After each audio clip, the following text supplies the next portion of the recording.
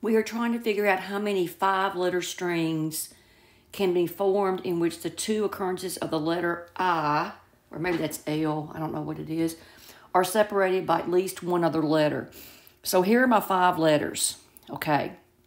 Now, um, the only thing that I had to do by hand was figure out how many occurrences are there where the I's are next to each other. And I'm going to highlight in red. This shows you all the ones where they're next to each other. Okay, and there's four of those.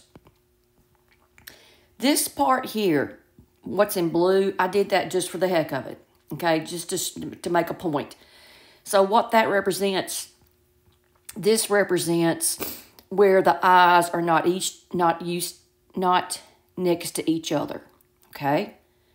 And there were six of those. Now, what you can do is a combination of five, choose two. How many ways, if I have five objects and I choose two at a time, how many different ways are there that that can occur? And if you do that, the formula is going to be the top number, which is 5 factorial over the bottom, which is 2 factorial, times 5 minus 2 factorial. Okay? The formula is n choose r, and that's going to be n factorial over r factorial times n minus r factorial. And that is going to give you 5 factorial, which is 5, 4, 3, 2, 1. 2 factorial is just 2 times 1, so 2.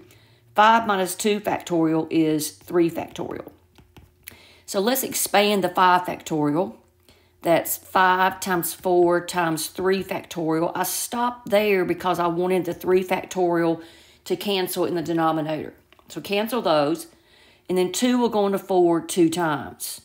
So you're left with 5 times 2 is 10. And look here, 4 plus 6. That's what that 10 represents that shows every way where that I can go, either next to each other or not, not used to each other. Okay? All right, so now what? We've only we've only worried about our I's. Now we need to worry about the D, G, and T. I'm going to go back to black. So how many ways can you do three letters? Okay, I'm going to do it like this. If you got three letters, how many choices do I have for the first one? Three. D, G, or T. Now, you've used one of those letters. So how many choices do you have left here? Two. And that leaves one here. And we're using the fundamental counting rule, and I believe we've talked about there, that if you have M ways, you can do one thing, and N ways, you can do something else. You get a total of M times N possibilities. So that's what we have here is 3 times 2 is 6. Okay, so then what we do is uh, how many ways could I do? Go use the fundamental counting rule again.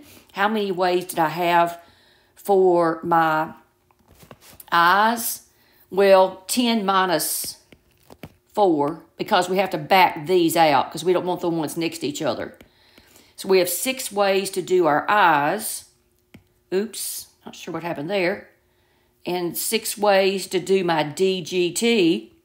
So you multiply that together and you get 36.